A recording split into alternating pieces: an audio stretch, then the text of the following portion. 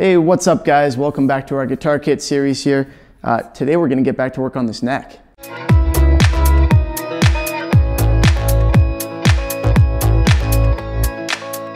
So, so far we've done all our fretwork on here. They're all leveled, crowned, fret ends are done and they're polished. And that part is the most important. So that is ready to go. The nut height looks fine. So that is, you know, also very important. Truss rod seems to be functioning properly and it fits. That's one of the big issues with guitar kits. Often the neck doesn't fit properly into the body. But that's all done, but there is still quite a bit left to do. We've got to put a finish on this. Um, we've got to do some graphic work on the headstock, just just a little bit, just a little bit. I actually might burn that in there. We'll see. I'm not sure yet. Um, there's of course some sanding to do before the finish work because this thing needs to be a little bit smoother for that process. And then we have to oil the fretboard, contrary to what that one guy keeps saying when he finds all my videos that involve oiling fretboards and posts a huge message in a lot of capital letters saying that really you shouldn't never oil your fretboard, you should just put water on it. I'm, I'm, gonna, I'm gonna disagree with him. Anyway, so we're gonna oil this one uh, when we get to that stage, but for now, what we're gonna do is some finish sanding on the back and we're gonna tape up the fretboard and get it prepped so that we can start putting a finish on it. So yeah, let's, uh, let's move in here and get to work on the sanding. As always, if you're interested in getting one of these kits from Solo Music Gear, please check out the links in the description below. I've got one to my kit page, which is where I keep some of their kits with affiliate links, or you can go straight to their website that has a bigger selection. Uh, and yeah, you can find what you're looking for.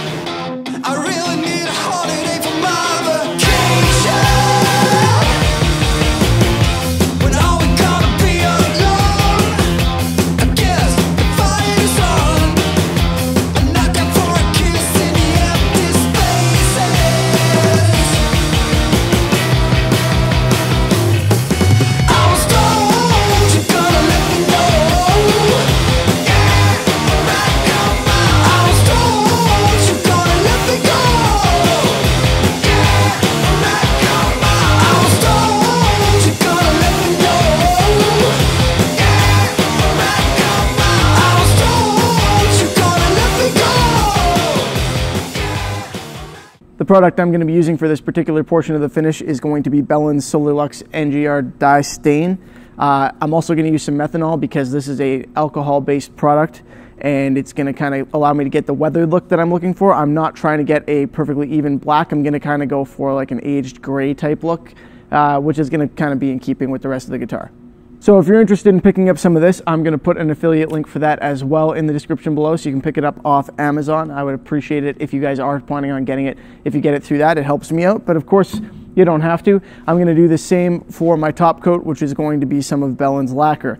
So have a look at that stuff. I'll put a spray can version and a spray gun version. We're not at that point yet, but that is what I'm going to be using. So feel free to pick up some of that while you're at it if you want to be able to follow along when I get to that point. So enough yapping, let's bring you in closer and you can take a look at how I do this. Like I said, it's going to be methanol and the dye and we're going to kind of go back and forth until we get the gray that, well I shouldn't say that we're looking for, the gray that I'm looking for. Let's get to it.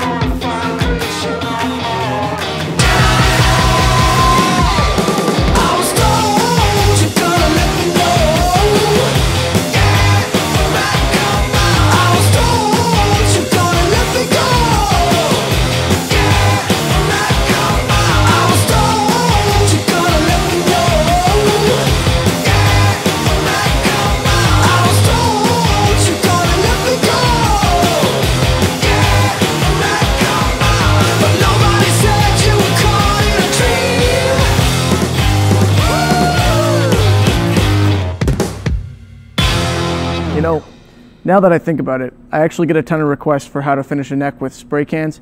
So even though I'm going to be using a spray gun to put my final lacquer on there, I'm going to use a spray can right now to seal this guy up. It's going to be some of Behlen's vinyl sealer. I'm sure you guessed it. Link will be in the description. And, uh, and I'll show you kind of the technique that I use for getting a nice even coat. It's actually relatively straightforward. It's difficult because it's a curved surface, but you'll see that it's, it's a pretty standard technique. I won't speed it up or anything. Uh, I might slow down portions of it, but just so you can get a better view of how I'm doing it. We'll do that right now. Uh, this stuff dries pretty much instantly. Make sure you wear gloves if you're doing it. Yeah, let's take a quick look at this, how it looks now. You can see kind of the aged grayish look that I ended up getting for it. And then we'll move on to that spray.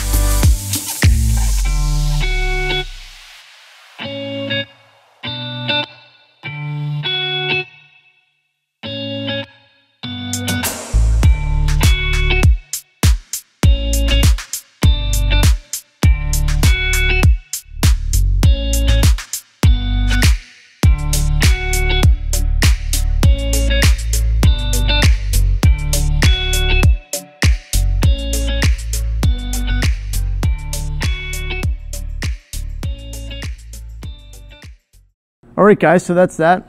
We've got our sealer on there now. That is too close to you. There we go. Uh, when that dries, it's going to mat out a little bit. It's going to turn to more of a satin finish, and we'll scuff it up before we go ahead and put our gloss clear on there. And obviously, it being a neck, I'm not going to leave this portion gloss, but I'll probably leave the headstock gloss. The neck itself, I'm going to buff back down to about a satin so that my hand slides across it more easily and I can play quicker. So yeah, that's about it for this video. Uh, I hope you guys liked it. If you enjoyed it, please feel free to give it a thumbs up. I would appreciate that and subscribe if you haven't already. Of course, don't forget to check out the links in the description if you're interested in using any of these products or picking up a guitar kit like this one. And as always, thank you for watching. Have a good one, and I will see you next time.